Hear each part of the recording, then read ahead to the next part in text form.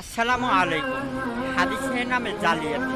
লেখক doctor Khandakar Abdullah Jahangir Rahimullah. আসন্নাহ publication. পৃষ্ঠা নং একশত পঁচিশ। মোবাইল স্ক্রিনে থাকা একদম উপরের লাইন থেকে শুরু। দ্বাদশ হিজি শতকের অন্যতম আলিম।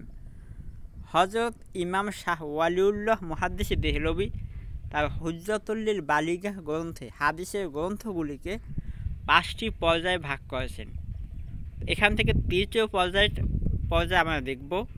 তৃতীয় পর্যায়ে রয়েছে ওই সকল গ্রন্থ যা ইমাম বুখারি, ইমাম মুসলিম প্রমুখ মুহাদ্দিসে আগে বা পরের যুগে সংকলিত হয়েছে। কিন্তু তার মধ্যে বিশুদ্ধ, দুর্বল, মিথ্যা, ভুল সব ধরনের হাদিস রয়েছে, যার ফলে বিশেষজ্ঞ, মুহাদ্দিস ভিন্ন এ সকল গ্রন্থ থেকে হাদিসের গবেষক ছাড়া এই সকল গ্রন্থ থেকে উপকৃত হওয়া সম্ভব নয়। এ সকল গ্রন্থ মহাদ্দিসদের মধ্যে তেমন প্রসিদ্ধি লাভ করেনি। এই পর্যায়ে রয়েছে, অর্থাৎ বিশুদ্ধ, দুর্বল, মিথ্যা, ভুল, সব ধরনের হাদিস রয়েছে এরকম কয়েকটি গ্রন্থের নাম।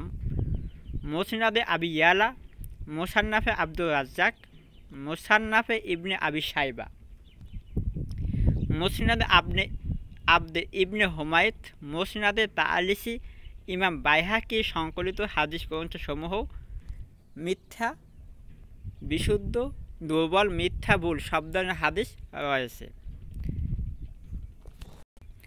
যেমন সুনানে কুবরা, দালাইলুন নবুয়াত সুয়াবুল ইমান ইমাম তাহাবির সংকলিত হাদিস গ্রন্থসমূহেও বিশুদ্ধ, দুর্বল, মিথ্যা, ভুল সব ধরনের হাদিস রয়েছে। যেমন শারহ মানিল আসা শারহ মুশকিলিল আসা ইত্যাদি। তাবায়নের সংকলিত হাদিস গ্রন্থসমূহেও বিশুদ্ধ, দুর্বল, মিথ্যা, ভুল সব ধরনের হাদিস রয়েছে। তো তাবায়নের গ্রন্থসমূহ আল মৌজামুল কাবির আল মৌজামুল আওসাদ আল মৌজামুল সাগির ইত্যাদি। এ সকল গ্রন্থে সংকলকদের সংকলকগণের উদ্দেশ্য ছিল যা পেয়েছেন তাই সংকলন করা। তারা নিরীক্ষা ও যাচাইয়ের দিকে মন দেননি। চতুর্থ পর্যায়ের গ্রন্থগুলি হলো ওই সকল গ্রন্থ যা কয়েক যুগ পরে সংকলিত হয়। এ সকল গ্রন্থের সংকলকরা মূলত নিম্ন প্রকারের হাদিস সংকলন করেছেন। যথা যে সকল হাদিস পূর্ব যুগে অপরিচিত বা অজানা থাকার কারণে পূর্ববর্তী গ্রন্থসমূহে সংকলিত হয়নি। দুই, যে সকল হাদিস কোনো অপরিচিত গ্রন্থ সংকলিত ছিল। তিন, লোকমুখে প্রচলিত বা ওয়াইসদের ওয়াজে প্রসারিত বিভিন্ন কথা যা কোনো হাদিসের গ্রন্থে স্থান পায়নি।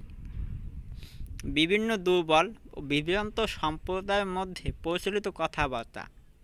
পাঁচ, যে সকল হাদিস মূলত সাহাবি তাবেইকদের কথা, ইহুদিদের গল্প, পূর্ববর্তী জামানার জ্ঞানী ব্যক্তিদের কথা।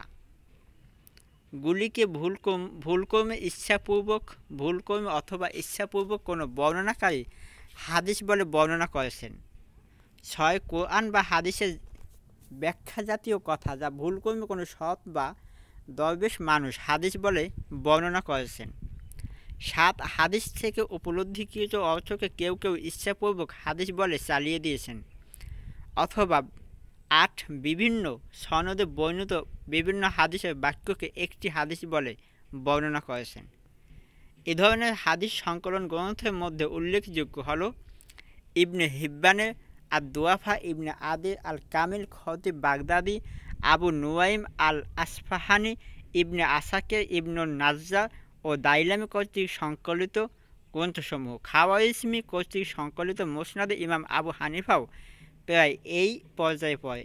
এই পর্যায়ের গ্রন্থসমূহে হাদিস হয় দুর্বল অথবা বানোয়াট।